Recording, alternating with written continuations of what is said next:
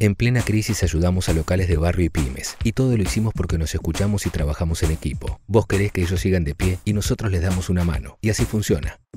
Juntos hacemos más y acompañamos a los que más nos necesitan.